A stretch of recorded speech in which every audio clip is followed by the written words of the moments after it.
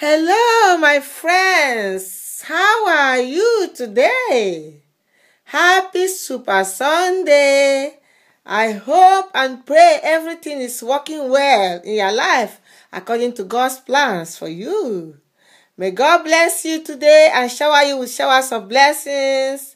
May you live to see the glory of our living God in your life and may God perform super miracles in your life today and forever. In Jesus' name, amen.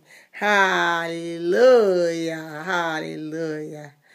Nothing can separate us from the love of God. Nothing can separate us from the peace of God which is our true Jesus Christ we have received. Nothing, nothing, nothing can separate us from the love of God.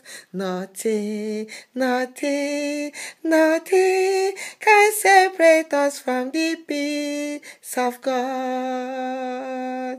Nothing can ever separate me from love of God.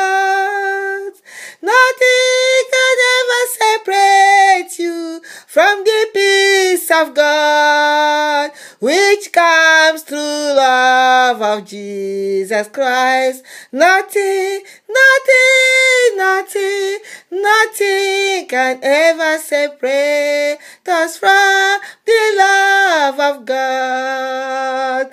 Nothing, nothing, nothing, nothing, nothing can ever separate us from the peace of God.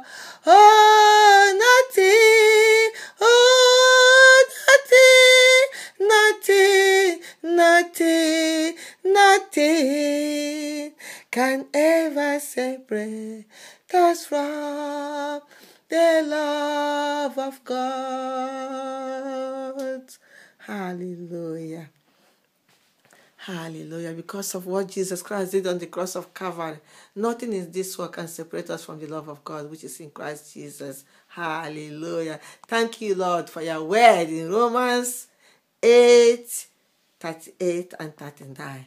Nothing can ever separate us from the love of God or the peace of God, which we receive through Christ Jesus, which is in Christ Jesus, which God has given to his son to give to us.